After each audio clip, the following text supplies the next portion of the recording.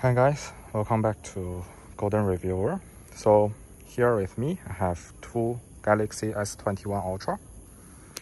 Okay, so the silver one is the Exynos and the black one is the Snapdragon. And currently both of them are upgraded to August, uh, the latest security patch, uh, which supposedly should uh, improve their per camera performance as well. If you watch my previous videos, you know that the Exynos version actually lags behind the Snapdragon version in terms of uh, low light, especially low light video capabilities. So today we are going to do a latest comparison and uh, see whether the Exynos has improved by... Okay, all right, let's go. Okay guys, so now I'm recording 4K 30 fps on the main lens from both of the devices. And they are held on the same same tripod okay? And I think it's still quite apparent to see that the Exynos lacks a bit of detail compared to the Snapdragon variant. Okay.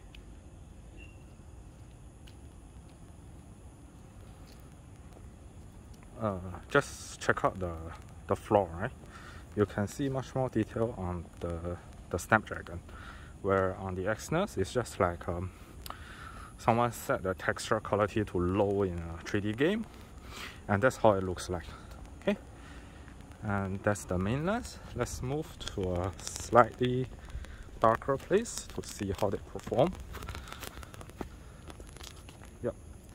So here is a slightly darker and just check the grass okay? I think the Snapdragon is more vibrant a little bit more noisy but uh, has much more detail in the grass okay?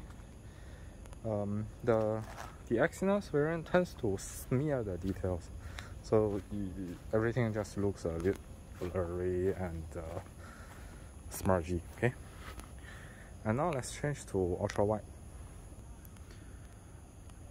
here is ultra wide and straight away you can see a clear difference. And this difference was there ever since the first software version of these two devices. I mean since they they were released. Okay it's just so much better on the Snapdragon.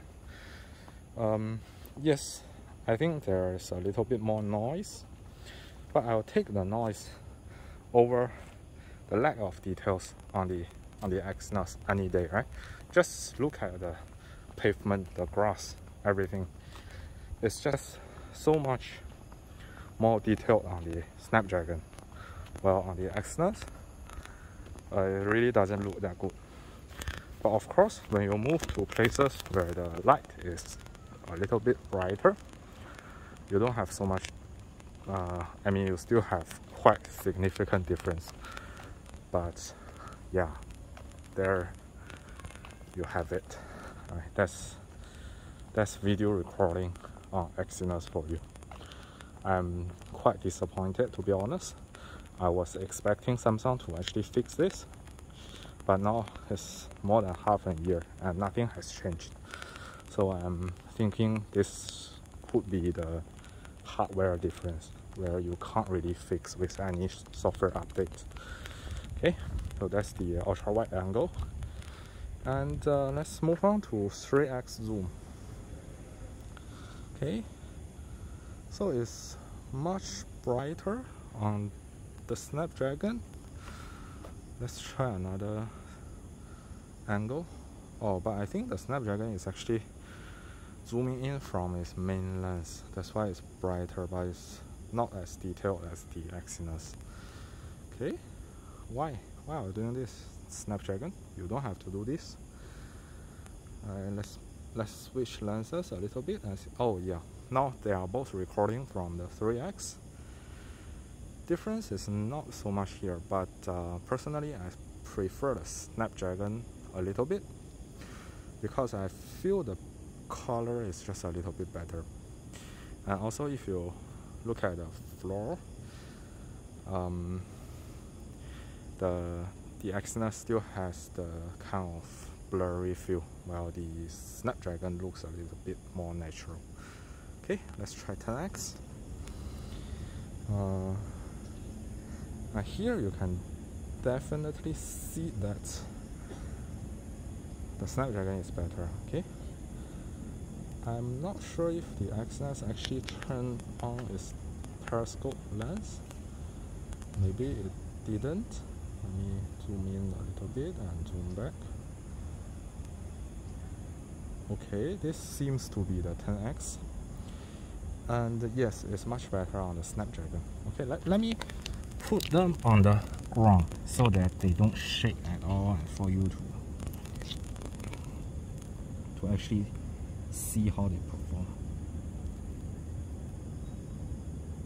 Do you see it? I think the Snapdragon is much better in this regard. Um, the colors are better, uh, more detail, and uh, everything, right? I think overall the Snapdragon is just uh, better in in the zoom. So it's better for zoom, and uh, it's better for 3x zoom as well, but slightly better, not so much better. Better a little bit better on the main lens especially when you start to move. And then much better on the ultra wide. I think the most significant difference is in the ultra wide lens right? It's almost unusable on the Exynos while on Snapdragon is still I'll still say it's barely usable maybe? Yeah. So there you have it. The low light video comparison between Snapdragon and Exynos S21 Ultra after August update. Okay guys, thanks for watching and see you next time.